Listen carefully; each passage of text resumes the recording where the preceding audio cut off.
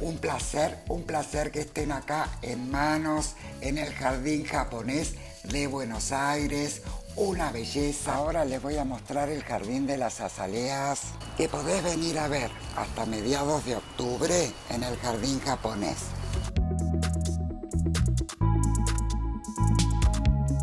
Vamos a empezar el programa. Recuerden que pueden entrar a Manos a la Obra TV YouTube y ver este y todos los programas. Arrancamos ya.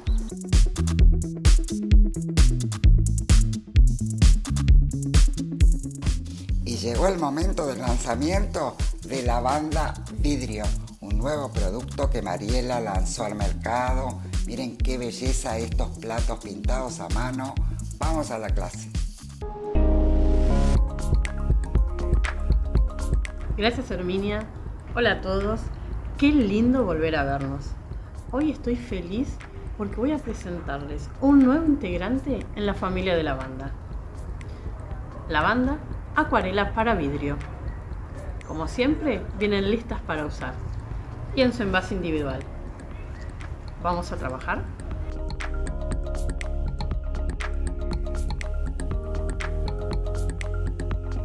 Para decorar nuestro plato vamos a necesitar acuarelas para vidrio.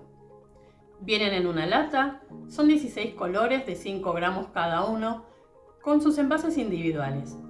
Como es un producto al agua, es ideal para que lo usen personas que son alérgicas. También vamos a necesitar un plato de vidrio, un lápiz para marcar sobre vidrio y un pincel redondo.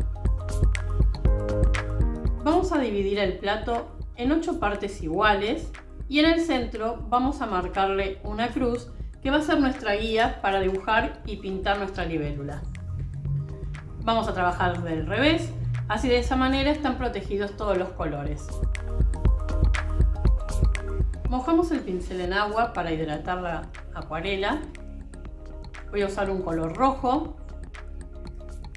Voy a frotar. De esta manera se van a integrar bien el color y el agua a nuestro pincel.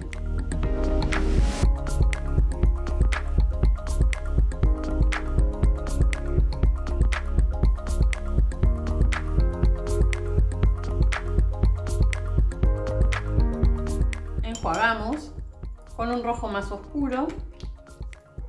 Vamos a hacer las alas de abajo.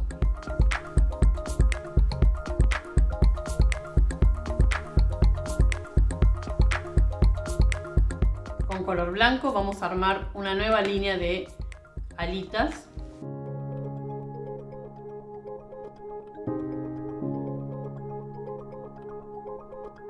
Y sobre la línea principal, la guía vertical, vamos a armar el cuerpo de la libélula.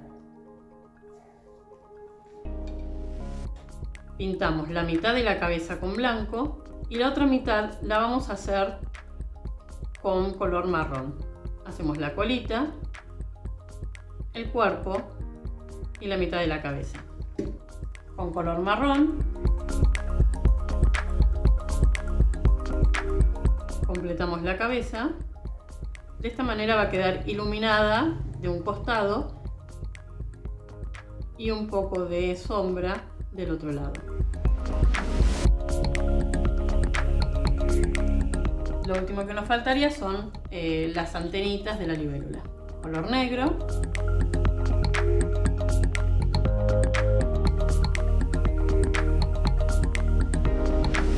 Vamos a pasar a lo que serían las, eh, las hojas que van acá alrededor, toda la parte del centro. Con color verde. Fíjense qué fácil, porque hasta ahora usé un solo tipo de pincelada el tallo, unas hojas largas.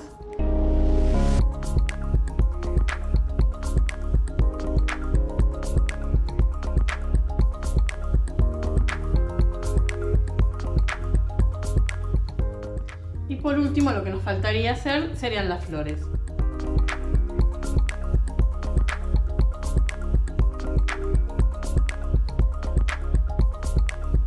Uso siempre el mismo tipo de pincelada para la libélula, para las hojas y para la flor. armo una primera línea de pétalos y con un color un poco más oscuro voy a hacer una segunda línea, una segunda capa de pétalos.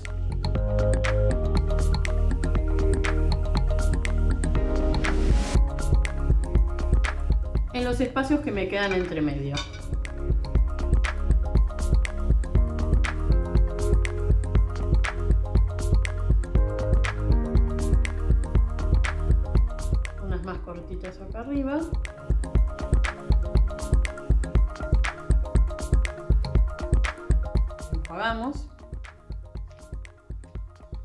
Con el color amarillo vamos a hacer el centro de las flores. Vamos a usar un poco de amarillo y un poco de marrón.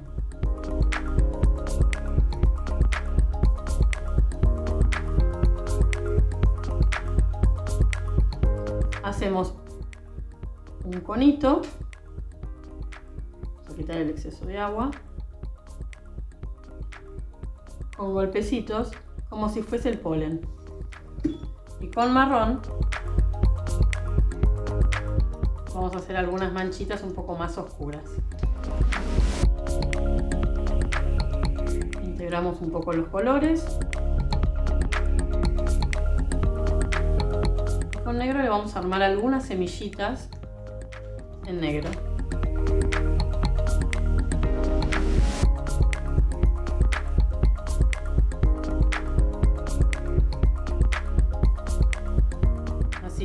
Manera nos queda terminada la flor. Bueno, espero que les haya gustado.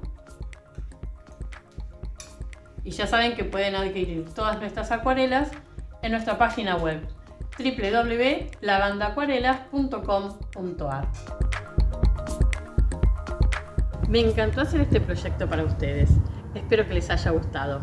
Ahora sí, no hay más excusas para decorar y personalizar tu vajilla de vidrio. Nos vemos pronto. Les dejo un beso.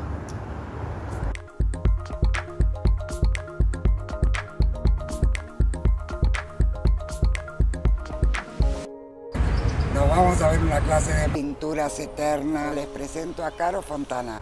Vamos a trabajar con aerografía, las nuevas pinturas Custom Art de pinturas eternas. Vamos a la clase.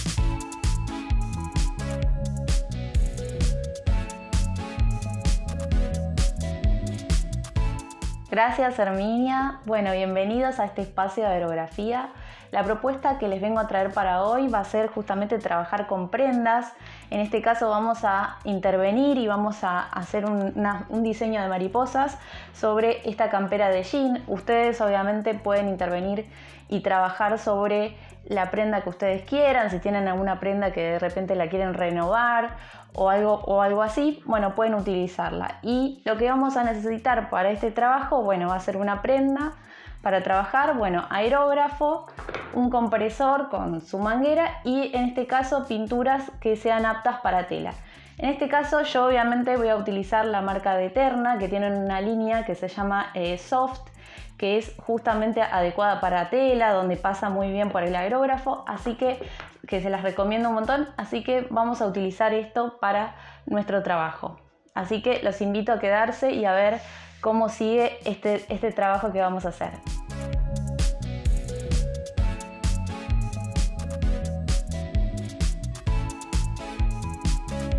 Bueno, vamos a comenzar con nuestro diseño. Vamos a primero eh, dar una base para que justamente los colores se vean más nítidos, más brillantes. Y vamos a dar dos o tres capas de blanco. ¿Y qué va a variar en estas capas de blanco? Es por ejemplo el color de nuestra superficie, de nuestro jean en este caso, y que justamente puede ser un azul oscuro, puede ser negro y demás, entonces justamente voy a tener que tener en cuenta eso para eh, que me quede bien blanco. Bueno, vamos a comenzar con las capas de blanco.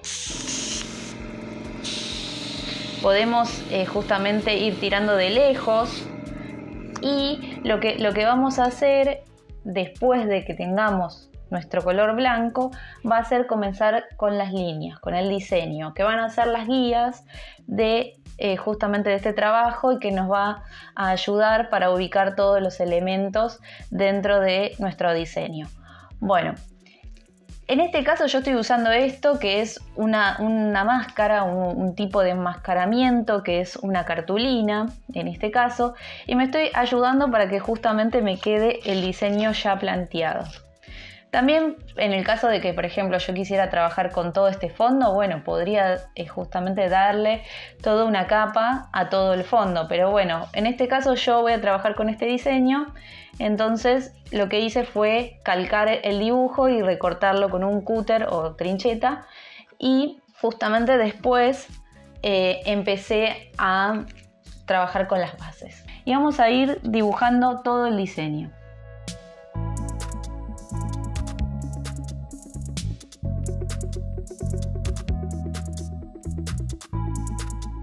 Una vez que tenemos ya todo marcado nuestro diseño, vamos a comenzar con el primer color.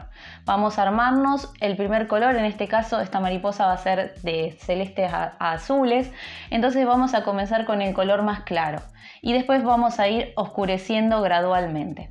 Y esto nos va a ayudar también a justamente ir dando los volúmenes y hacerlo de forma progresiva.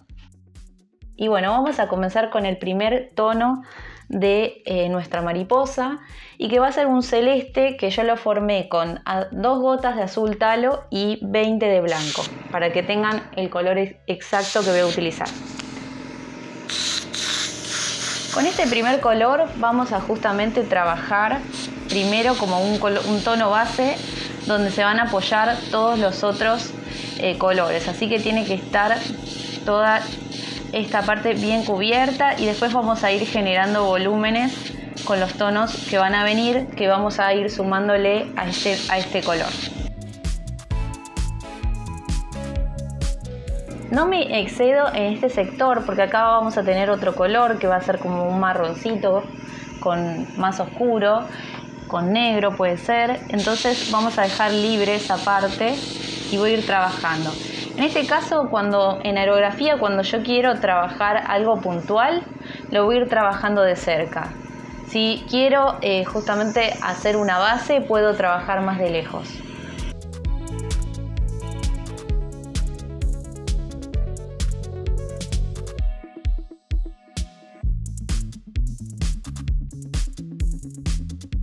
Bueno, y así nos queda nuestro primer tono. Así que ahora vamos a preparar nuestro segundo tono y vamos a comenzar a trabajar ya con los volúmenes.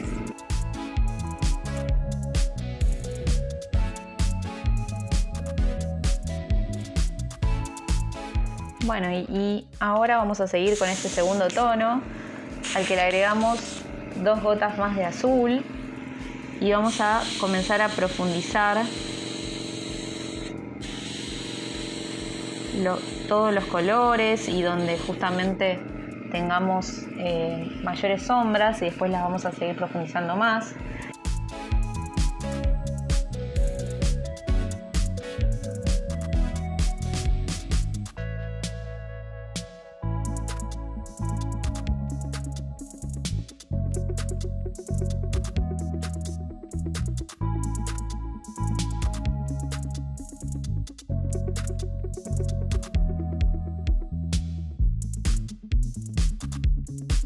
Para el cuerpo de, nuestra mariposa y para los contornos voy a utilizar un color que va a ser el tierra eh, siena tostada, que voy a utilizar 10 gotitas y 4 de rojo.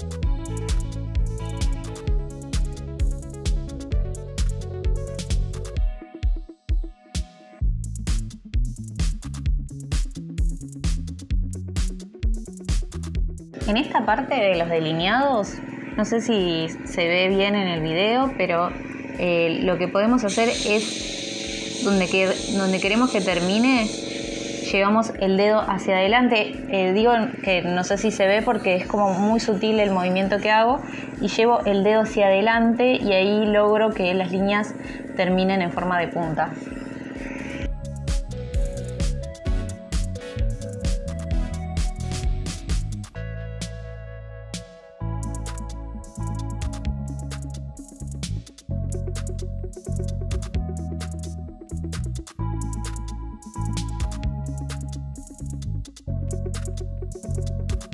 Y bueno, como último, lo que vamos a hacer va a ser eh, comenzar con unos detalles en blanco. Yo acá ya le di una capa, vamos a ir con una segunda capa y después voy a agregar unos detalles en ultravioleta y le voy a sumar otros elementos que van a acompañar al diseño de este motivo.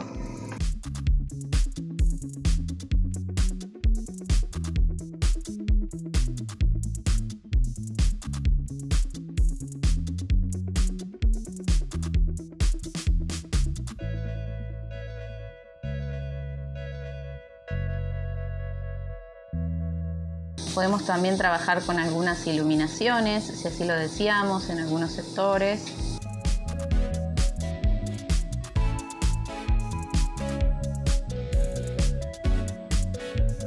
Bueno, y cualquier consulta que tengan me pueden escribir en las redes, me pueden hacer todas las consultas que quieran. Y bueno, espero que les haya servido y que les haya gustado la propuesta. Nos vemos la próxima.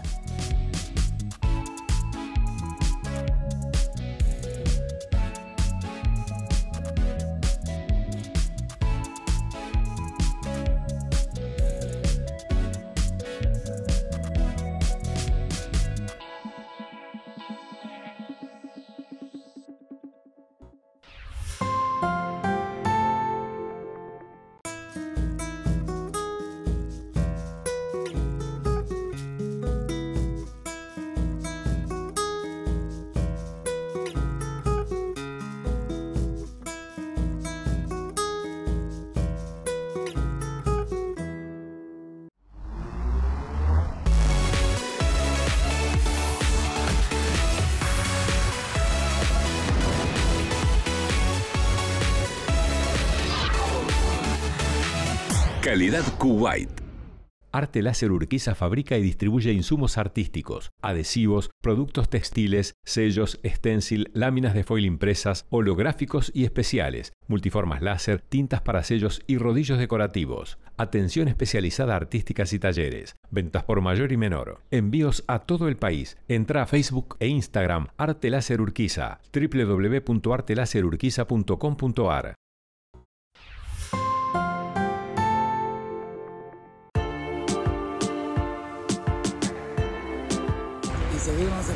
programa, hermosísimo programa que tenemos hoy y nos vamos a ver una clase de Claudia Naretti. Va a ser etiquetas con la Cat, va a cortar vinilo. Vamos a la clase.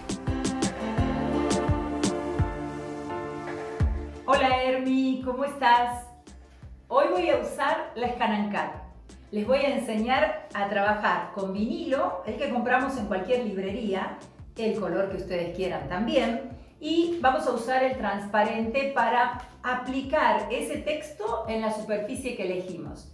Vamos a hacer en el canvas de escritorio texto circular, como lo ven acá. ¿sí? Es una herramienta que les va a resultar muy útil, no tan solo para cortar vinilo. ¿Vamos a hacerlo? Ya estoy en el canvas de escritorio, voy a ir al lado izquierdo de la pantalla a la letra T, apoyo en el mat, aparece el cursor, voy a escribir en mayúsculas alcohol para que lo vean bien, hago clic en la nada para que se seleccione, voy a visualización, adaptar, ah, vamos a hacer zoom de objetos, ahí están los que estaban seleccionados, que era la palabra. En editar, al lado derecho puedo ver la medida de la palabra. Voy a llevarla a un centímetro de altura que serían 10 milímetros. Ahí lo tengo. Bien. Ahora, desde formas, voy a traer un círculo. voy a alejar para que puedan ver que ya está el círculo en pantallas. Hago clic otra vez en forma para que desaparezca y ahora vamos a buscar dónde quedó. Acá está. Voy a achicar este círculo a 7 centímetros de diámetro para que quepa en mi frasquito, ¿sí? Ahí está. Sin importar si está en el centro o no, vamos a hacer zoom otra vez para que lo puedan ver bien. Ahí está. Sin importar si están alineados o no, selecciono las dos cosas, círculo y palabra. Voy a hacer clic derecho, ajustar al trazado. Ahí ven, ya en este caso esta palabra ya tiene la forma circular. Desde este signo más azul que está acá, de ahí la puedo llevar, ¿ven? La puedo ubicar donde yo necesite que quede. En este caso es ahí. Ahí me gustó. Ahora voy a quitar esta línea turquesa que es la guía que, tiene el programa para darle forma al texto. Voy a ir desde editar, hago un clic del lado derecho de la pantalla en convertir a formas. Ahí tengo el texto listo. Ahora vamos nuevamente a la T para traer el cursor y poder escribir 70%. La tipografía que usé en este caso es Brussels, que la tienen acá arriba, ¿sí? En Demi y la distancia entre carácter y carácter es cero. Usé esta tipografía, pero pueden elegir entre todas las que tienen buen cuerpo, que no sean finitas, la que más les guste. Eh, lo ideal es que siempre escriban en mayúscula. Y ahí creo que ya le di más o menos el tamaño que necesitamos al 70%. Ahora vamos a armar esta ramita con el corazón. Ahora vamos a ir al lado izquierdo de la pantalla, bien arriba, donde dice Proyecto de Canvas. Ahí voy a hacer un clic para que vengan todas las opciones que tenemos en nuestros Canvas y en el buscador voy a escribir tarjeta ramo para que traiga el ramito que estoy por elegir.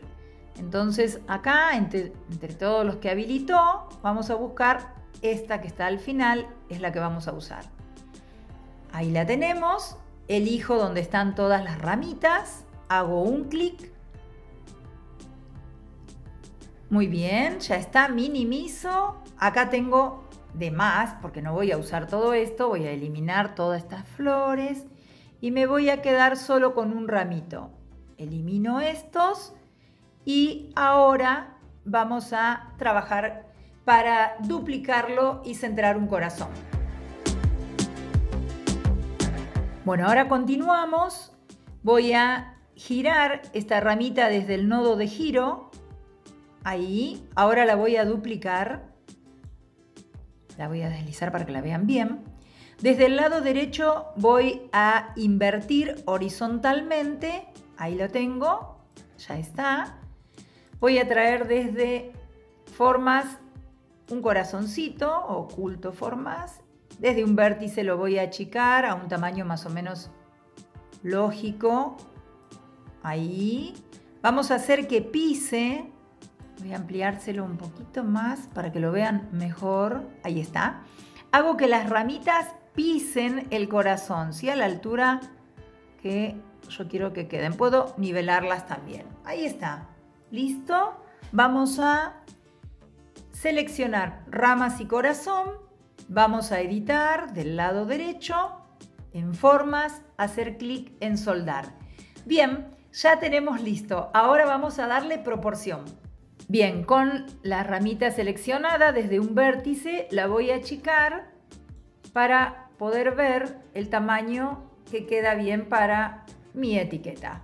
Considero que ahí está bien Vamos a hacer clic en la nada, arrastro, vamos a agrupar y ahora sí lo puedo enviar para cortarlo. Ahora voy a hacer clic en archivo, elijo la opción exportar, transferir archivo FCM, hago clic y acá elijo transferir archivo FCM a través de internet. Hacemos un clic y ya está listo nuestra ScanNCat. Vamos a cortar el vinilo ahora. Bien, ahora ya en mi ScanNCat voy a recuperar datos, Vamos acá a la señal de Wi-Fi. Y ahí tenemos nuestra etiqueta para cortar. Ya cargué el mat con el vinilo, ahora estoy escaneando para poder ubicar mi etiqueta sobre el vinilo. Ahora voy a ubicar la etiqueta sobre el vinilo y vamos a programar el medio corte. Vamos a dar OK, seleccione, cortar y ahora vamos a herramientas y tenemos que tener cortado a la mitad en OM. Ahí está, perfecto. Ok, y ahora sí inicio para comenzar el corte. Comienzo el corte con inicio.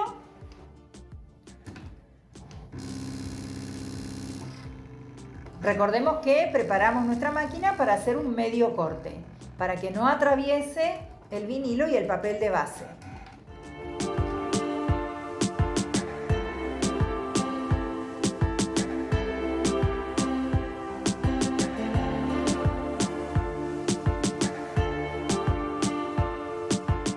Ya terminó de cortar. Ahora, cuando despego, tengo que ver, ven, la cuchilla, al ser automática, ya el corte quedó perfecto. No pasó para el otro lado, ni siquiera marcó el papel. Ahora voy a depilar el vinilo para que puedan ver cómo quedó. Ya tengo la etiqueta lista sobre la base. Ahora voy a ubicar el vinilo transparente sobre el corte, presiono sobre cada letra y el dibujito, ahí está. Ahora lo voy a retirar con mucho cuidado. Voy a retirarlo de la base, presionando y levantando. Bien, ya está. A ver, ahí sale la última letra. Listo, ya la tengo en el vinilo transparente. Ahora voy a ubicarla sobre el soporte. Ahora ya lo centré, ubico, a ver ahí, ahí estamos bien. Presiono letra por letra y voy a retirar el vinilo transparente para que quede todo en la base. Bien, y ahí tengo la etiqueta lista.